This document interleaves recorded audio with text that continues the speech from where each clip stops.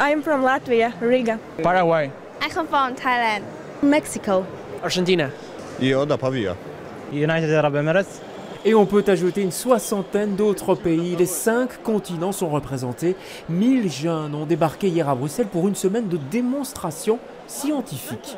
Oui, là par exemple, le, le robot qui est ici par terre, je peux, euh, juste euh, par l'intermédiaire de cette flèche, le faire avancer par exemple. Et à l'inverse, le faire reculer avec celle-ci.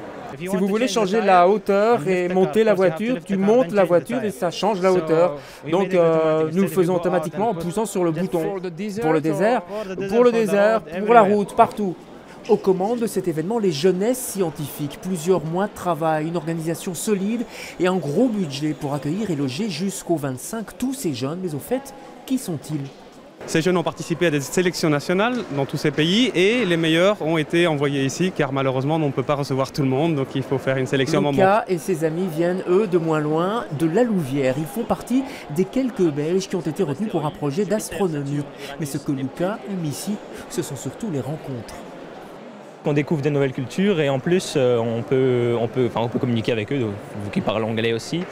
Et euh, ça, c'est vraiment, vraiment, Ça t'enrichit? Oui, c'est vraiment enrichissant de voir des gens intéressés. Et en plus, on, enfin, je ne sais pas l'expliquer, mais c'est, c'est enrichissant. Expérience, mais aussi débat public avec notamment le prix Nobel François Anglaire.